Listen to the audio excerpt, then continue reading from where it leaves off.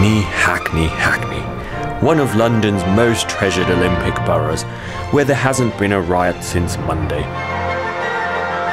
We recently added gangster to the Oxford English Dictionary and created the famous delicacy chicken and chips.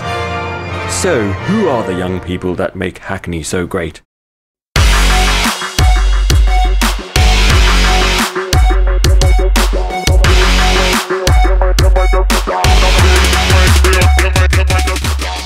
In his spare time, Tyrone enjoys spending time with his friends, feasting on only the finest cuisine Hackney has to offer, and debating with friends about London's current affairs, such as the 2012 Olympics.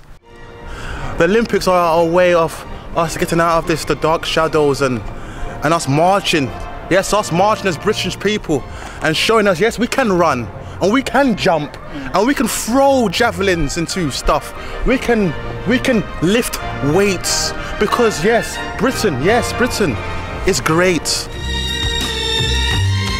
Victor Hollard, better known as Vicky, likes to take a moment out of his busy schedule for a daily stroll around his beloved village.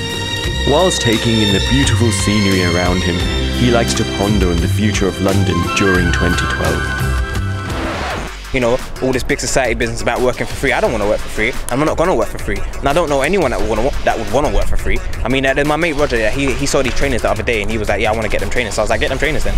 There's no problem. You, there's no problem why you can't get the trainers. He said, but I ain't got no money to get the trainers. So I was like, well, get some money to get the trainers. And then it was like, yeah, he was like, oh, they're these nice red and white trainers and they got like stars at the side and then they got like the laces all funny, the high tops and then they got a strap at the bottom and at the side and at the back. And then I was like, yeah, well, what about the tongue? How does the tongue? And the tongue was like really, really long. And then he was like, yeah, they were a fat tongue. And then, you know, I was like, well, why don't you get the trainers? And he was like, I can't get the trainers. So I was like, get the trainers. And he was like, I can't get the trainers. I was like, why can't you get trainers? And he was like, because I can't get the trainers. So I said, just get the trainers. And he was like, why can't I get the trainers? So I, can't, I ain't got no money. So obviously, if you're working for free, you're not going to get paid. So then you can't get the trainers.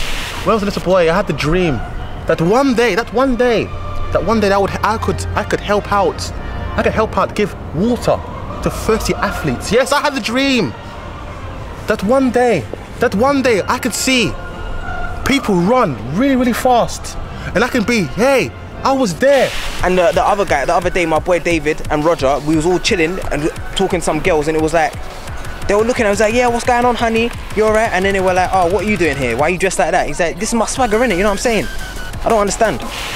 Can I say, this this fried piece of poultry is exquisite. Three star Michelin. You should try some. Please, uh, excuse me. Can you use a fork? Sorry, chum.